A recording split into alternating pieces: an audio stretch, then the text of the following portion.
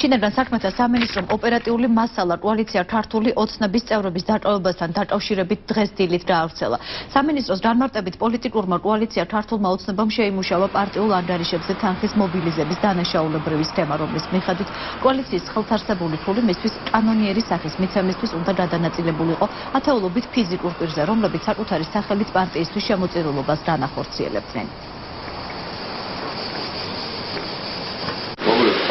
ხალხო ყველა ჩვენ აღნიშნული და სოციალ ფენომენები დახვალეთ რომ ეს ხალხი ძინა ეკონომიკური გუარები იქნება ძინა ეკონომიკური აი ეს ის რომ ამ ხალხს ყველა დაახლოება თავის საკუთრებიდან ეს ყველა ეს ცოტა რა შეიძლება ყველა ყველა ყველა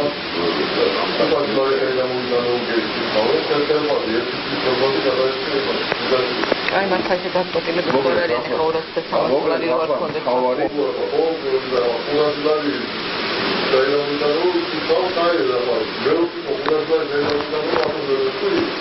პოლიტიკურმა კოალიცია ქართულმა ოცნებამ შეიმუშავა